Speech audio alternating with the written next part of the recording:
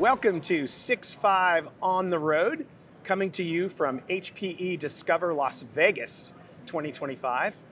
I'm Dave Nicholson, and we have a gentleman here from AWS, Andy Palmer. Welcome. Hi, thank you very much what for do you do at me. AWS, Andy?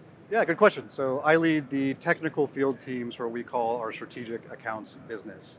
Uh, my teams in particular have depth and expertise in a variety of domains of technology, many of whom you'd probably come to expect, everything from data and analytics, AI and machine learning, and now with that, generative AI, uh, and some more as well. But no stranger to AWS. I've been here for about four years now and was a former customer, in fact, for six. Oh, fantastic, Yeah. fantastic. Well, so what is the AWS perspective now on, you know, we know where we are, where we're sort of, we're, we're, we're in the thick of generative, absolutely, but a lot of buzz is around uh, agentic. Yes. Talk to us about that. Yeah, we're super excited by this. Uh, I think it's safe to say. And the way that we think about this at AWS is, you know, our job in helping our customers to kind of democratize and to be able to build these agentic AI experiences really stems from a lot of our investments in infrastructure and security and systems. That shows up a lot for customers today with our Amazon Bedrock service, Mhm. which is this is a managed service that we have to build generative AI applications. It has all the tools and resources necessary from the broadest and deepest selection of foundation models, uh, for all the tools that you need to be able to customize using your own data. It could be everything from fine tuning, retrieval augmented generation, and all the security built in. So the, best part about it and what customers love is that since it's a managed service, you can scale and grow very cost effectively. You're only paying for what you use, and all the security is built in. So you, you, know, you own your data, uh, you own the keys, it never leaves your account, and so that's really important for enterprises as they're trying to build these applications. And you're right, we're on this wave to kind of agentic AI, and, and so we're, we're spending a lot of time in this, like, like a lot of folks. And we do have what we call our Amazon Bedrock Agents project, or product, sorry, rather, which, uh, which is by far and away the easiest way to get up and running and building agents. And you could go into the console today within just a few clicks and you're up and running. And so you start by picking a foundation model. We have lots of choices for this, by the way. We have our own proprietary first-party models from, from Amazon that we call Amazon Nova. Mhm. We've got third-party models from the likes of Anthropic, and even open source alternatives from Meta's Llama to even DeepSeek. And so the model's job is to really simply break down and orchestrate the tasks. Then you define a set of agents. You basically just give them some instructions or a goal or maybe an outcome that you want to see, and then you can say, here's the access to the data that I want you to have, and or maybe even here are some tools. Could be an API to call, for example, that they can use, uh, and that's it, and, and you're up and running. So one of my favorite words in our business is co-opetition. Ha.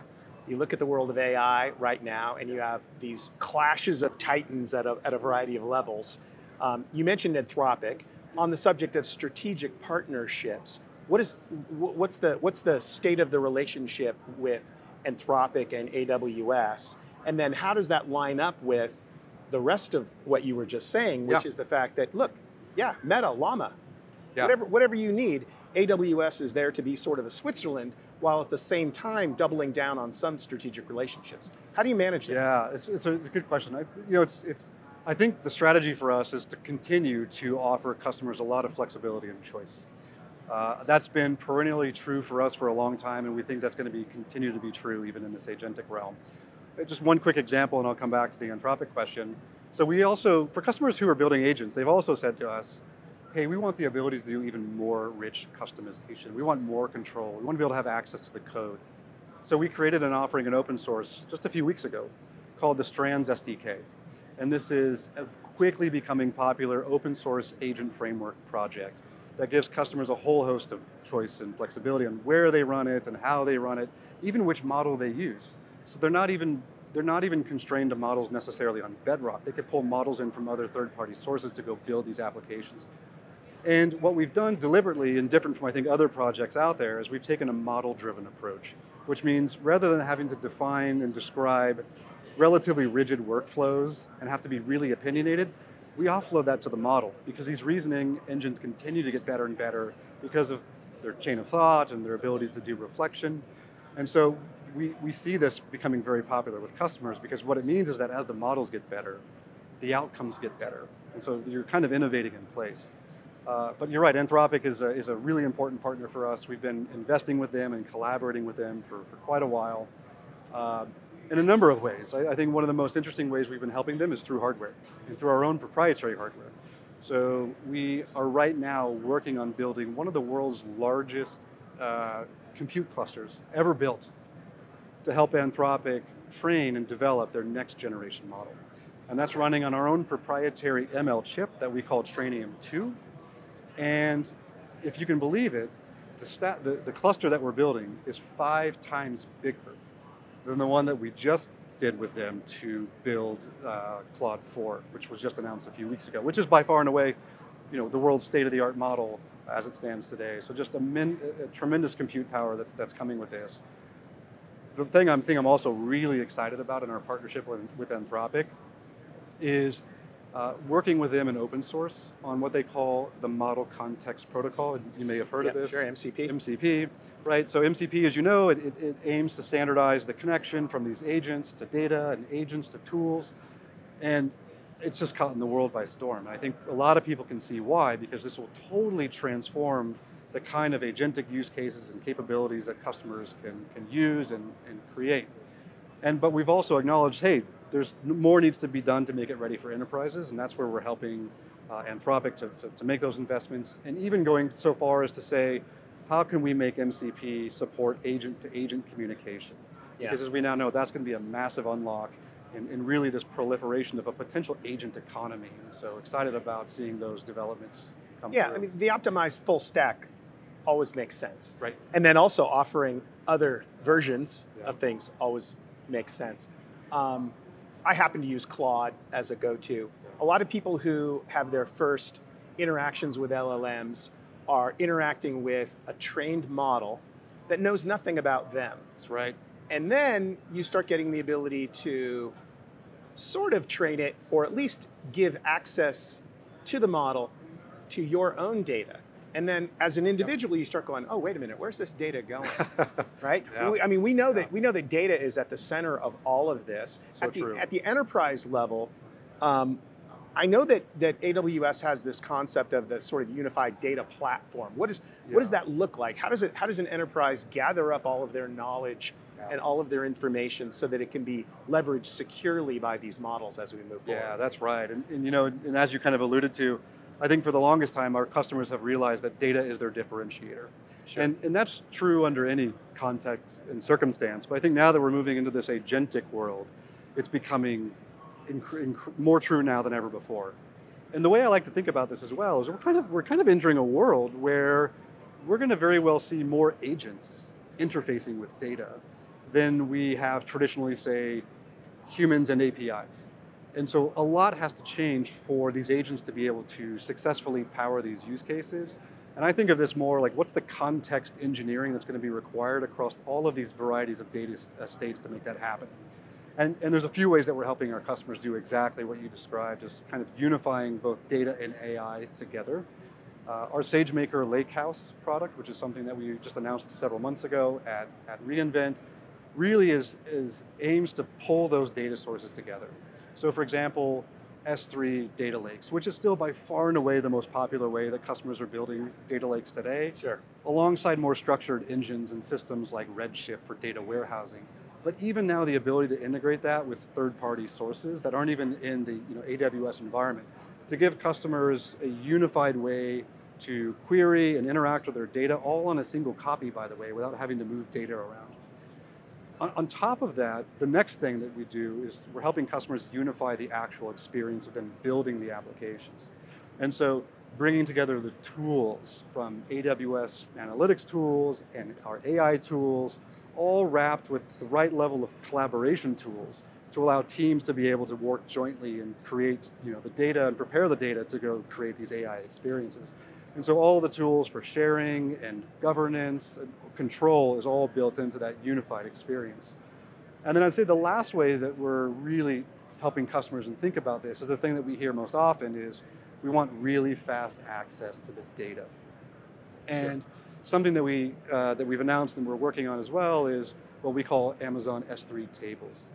So this is a purpose-built object uh, inside of S3 that natively talks Apache Iceberg, which is by far and away the most popular open table format that we see our customers, customers gravitating to. And the fact that it's built inside uh, of S3, we've been able to do a, a, lot of work to optimize the performance. And what customers are seeing is upwards of 3x performance and you know, query throughput performance over maybe self-managed uh, uh, iceberg tables inside of S3. So, you know, we nearly got to a point. I don't have a good calendar in my head, but it was a few years ago. We nearly got to the point with cloud, with AWS, um, where you could look a customer in the eye and say, Do you really care what silicon this lives on as long as I deliver this service that you're seeking? And they would think for a moment and they would say, No, I don't. I don't. But today, interestingly enough, um, it's a critical conversation in a lot of places. And you and, and AWS is building custom silicon. You, right. you talked about this a little bit. Uh, just double click on that. Why? Why, why do you have to build custom silicon? Isn't there isn't there a giant company out there that builds GPUs? Can't you just buy a bunch of them from them? I mean, yeah. What, you know? Yeah, there, there is a giant. Can you just co- become a subsidiary of that company? there is a giant company out there who we love to partner with. Exactly, yeah. Uh, we love to partner with. Um, it's, it's in our DNA to provide, I think, customers choice and optionality, and, and for a variety of reasons. But we are investing heavily in AI, particularly in hardware and infrastructure We've already committed to spending upwards of $100 billion in just 2025 alone, which is a significant lift even from the prior year as well. And you're right, a good way we're doing that is, is through our own investments in our ML chips. Trainium for training workloads, yep. Inferentia for inference. Because in every case and circumstance, it continues to come up that these customers, you know, cost matters. Yes. It's always such an inhibitor. And as customers are evaluating their return on investment and what may or may not go to production, that's usually one of the biggest reasons why maybe something gets shelved and gets put aside. But what we're finding is these, these chips that we've built, they're, they're purpose-built accelerators designed to do AI training and AI inference from the ground up. And our customers who are using these chips are oftentimes out of the box seeing upwards of 30 to 40% you know, cost performance benefit, which is, which is a huge, huge enabler for them to get those workloads into production, give them optionality uh, as well across you know, the potential fleets of accelerators that are out there. It's an interesting comment to make about cost because many of us are insulated from the actual cost. So you have, you have customers that are deploying real things yes. and the real cost is being passed on to them while the rest of right. us are paying $200 a month or, or $20 a month or whatever it is but we're not paying for everything that we're doing because, in fact, large language model purveyors are investing right. in this. And so it's going to be interesting as the dust settles to see the case that will be made by AWS for this idea of hey, look, we, we designed all of this to work together, it's more efficient, therefore, cost effectiveness. That's right. What about the HPE relationship? We're here at HPE yeah. Discover. Las Vegas 2025. Yeah. Great, by the way. And uh, I know I, I, I, love the way that they pull this off. I, I have to say, and I, I, and I participate in a lot of these kinds of things, and this is a favorite. Um, but what does the relationship with HPE and AWS look like? Because clearly, you do things that overlap, you do things that complement one another, and you do things where you compete. No question about it. What does that relationship look like? I think we've got a you know fantastic partnership and relationship with with HPE.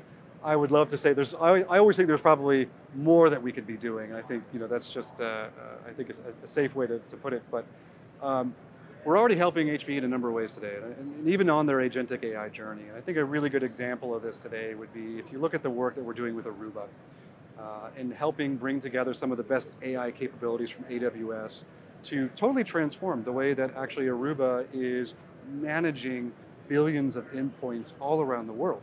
And this is helping Aruba to a much more proactive approach and, and allowing uh, Aruba to be able to infuse things into that product, such as uh, uh, you know, network autonomous monitoring, uh, reasoning, and then even doing like advanced issue resolution with very minimal human intervention. Uh, so we're excited about that partnership. I think with all the announcements that we've heard over the last couple of days, there's going to be more for us to go think about and, and, and, go do together. But I think that's a really good example of taking some of the best of AWS's hardware, uh, AI ML capabilities, Amazon Bedrock, along with Aruba's network leadership to create a real industry first solution for autonomous network you know, management solution. Andy Palmer, AWS, thanks so much for joining Great. us here. Thank you so much. Six five on the road. For those of you who are asking the question, how do I save money? How do I make money? with AI? What do I do first? You should be very, very happy to know that AWS and HPE are working together. So Andy, again, thank you so much. Thank you Andy for having me. AWS. Much appreciated. For 6.5 on the road, I'm Dave Nicholson. Stay tuned for more amazing content.